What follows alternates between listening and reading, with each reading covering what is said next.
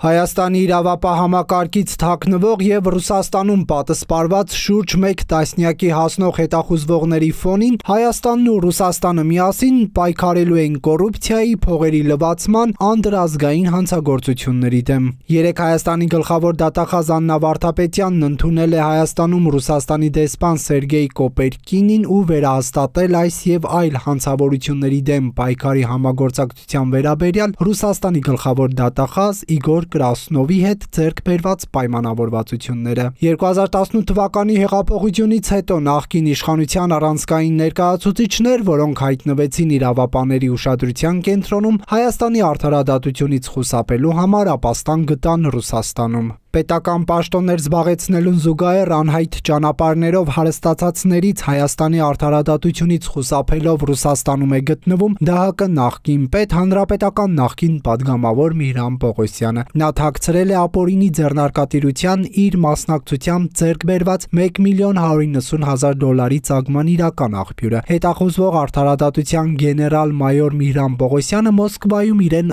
ապահով է զգում։ Ըստ առավոտի նա Ռուսաստանում հայտարարել է այստեղ նստած եմ, թող գան գտնեն։ Հետախուզվողների ցանկում գտնվողներից Ռուբեն Հայրապետյանը եւս Ռուսաստանի Դաշնությունում է։ Նա մեղադրվում է քաղաքացուն ֆիզիկական ուժեղ ցավ կամ հոգեկան ուժեղ տարապանք պատճառելու, ազատությունից ապօրինի զրկելու, ինչպես նաեւ ինքնիրավչության համար։ Մարտի 1-ի գործով մեղադրյալներից Հայաստանի նախկին գլխավոր դատախազ Գևոր Կոստանյանը նույնպես Ռուսաստանում է հանգրվանել։ Նա եւս Միրան Պողոսյանի նման իրեն շատ ապահով է զգում։ Կոստանյանը հրապարակավ հայ հայտնել էր, որ դասավանդում է Ռուսաստանի գլխավոր դատախազության համալսարանում, այդպիսով ընդգծելով, որ չի թաքնվում, եթե հայ իրավապահները կարող են, թող գան իր հետևից։ Ռուսաստանում ապահով հանգրվան գտածներից են նաև մարտի 1-ի գործով մեղադրյալներից Պաշտպանության նախկին նախարար Միքայել Հարությունյանն ու մարտի 1-ի գործով քննչական խմբի նախկին ղեկավար Վահագն Հարությունյանը։ Հետախուզման մեջ գտնվողներից քրեական հեղինակություն Արթուր Ասատրյանն էլ նույն ինքը Դոն Պիպոն մեղադրվում է սպանության նախ նախապատրաստելու համար նա եւս այժմ Ռուսաստանում է։ Հայաստանի երրորդ նախագահ Սերժ Սարգսյանի փեսա Միքայել Մինասյանը նույնպես Ռուսաստանում թաքնվածներից է։ Նա զբաղեցնում էր Վատիկանում Հայաստանի արտակարգ եւ լիազոր դեսպանի պաշտոնը։ Մինասյանը մեղադրվում է ապօրինի հարստացման հայտարարագրում կեղծ տվյալներ ներկայացնելու եւ հանցավոր ճանապարհով ստացված գույքն օրինականացնելու համար։ 2022 թվականի սեպտեմբերին սակայն դատախազությունը հայտնեց, որ Միքայել Մինասյանի միջազգային հետախուզումը դադարեցվել է թե ինչ հիմքով դատախազությունից չհայտնեցին, խոստանալով ավելի ուշ մանրամասնել։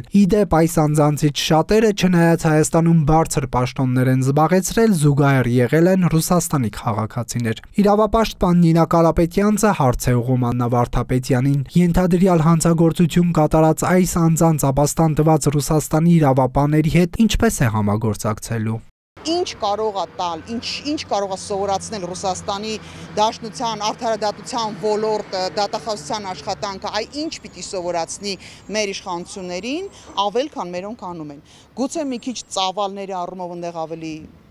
մեծ է հետապնդումների առումով, այ մենակ դա կարող են սովորել, ասենք այլախոհների վերաբերյալ քրեական գործեր հարուցելը, բանը, հա, ոնց են ընդդիմադիրների վերաբերյալ քրեական, այսինքն ընդդիմադիրներին բռնության ենթարկելու նրանց սպանությունների գործերով ավելի ավելի լավ կոծկելը գործերը Նինա Կարապետյանցը ռուս իրավապաների հետ համագործակցությունը խնդրահարույց է համարում իշխանությունների այն հայտարարությունների ֆոնին, թե ընտրել են ժողովրդավարության եւ կոռուպցիայի նկատմամբ զրո հանդուրժողականության աշխատելավոճը։ Գնաց հանդիպման Ռուսաստանի գլխավոր դատախազության հետ ես արդեն իսկ ունեի վերապահումներ, այս հանդիպումից քննարկումից հետո, երբ ամբողջ աշխարհը բանը հիմքում դնում, Հայաստանն աջակցելու հիմքում դնում ժողովրդավարությունը կոռուպցիայի դեմ պայքարը,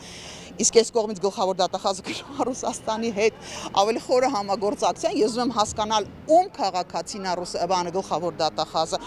որ երկրի մեդալն է ինքը վերջո ստանալու, որ որ հայրենիքին ծառայելու համար է ինքը վերջո մեդալ ստանալու։ Transparency International հակակոռուպցիոն կենտրոնի ծրագրերի համակարգող Վարուժան Հոկտանյանը հակված չէ կարծել, որ հայ-ռուսական համագործակցության արդյունքում գողացված փողեր են Հայաստան վերադարձվելու կամ ենթադրյալ կոռուպցիոներներին են հանձնելու։ Ըստ նրա այս հանդիպումները զուտ արարողակարգային են։ Սա բավականին լուրջ խնդիր է լինելու հաշվի առնելով, որ այստեղ կա նաև քաղաքական տարը եւ այդ հանդիպումները ես ավելի շուտ համարում եմ այսպես համարում եմ այսպես ասած քաղաքավարության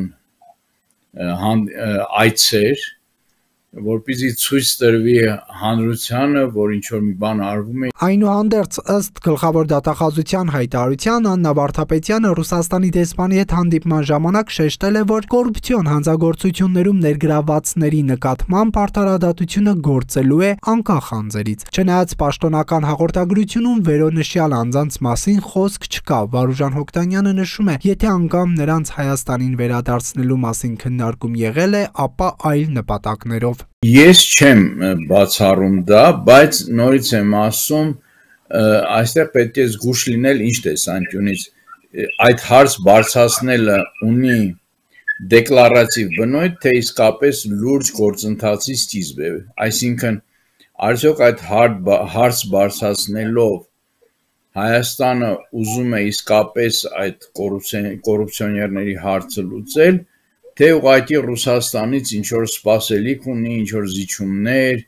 ավելի այլ աշխարհակաղակական հարցերում Մինչ գլխավոր դատախազ ընտրվելն Աննա Վարդապետյանը Նիկոլ Փաշինյանի օգնականն էր։ Նա նաև ակտիվորեն համագործակցում էր հասարակական կազմակերպությունների հետ։ Նինա Կարապետյանցը նշում է Աննա Վարդապետյանը քաղաքասարակության հետ համագործակցել է ոչ մարտական պայմաններում զոհված զինծառայողների դեպքերի բացահայտման շրջանակում համաձայնելով իրավապաշտպանների դիտարկումներին։ Իրավապաշտպանը մտահոգված է ռուսական իրավապահ համակարգի հետ Աննա Վարդապետյանի ղեկավարած կառույցի համագործակցության առնչությամբ։ Նրա խոսքով այժմ Վարդապետյանի գործունեությունը լուրջ հետևանքներ կարող է ունենալ Հայաստանում իրավապահ համակարգի իրական բարեփոխումների համար։ Սա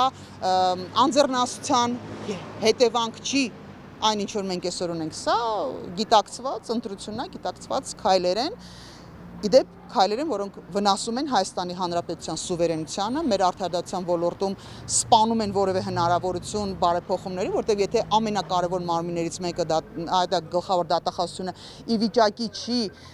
անկախ գործելու, հետեւաբար մենք մեծ խնդիրներ ունենք։ Արդյոք Աննա Վարդապետյանին կհաջողվի վերադարձնել Հայաստանի արդարադատությունից խուսափած եւ Ռուսաստանում հանգրվանած անձանց, թե վերջում նա էլ ինչպես իր նախորդը Արթուր Դավթյանը կարժանանա Վլադիմիր Պուտինի մեդալին ժամանակը ցույց կտա։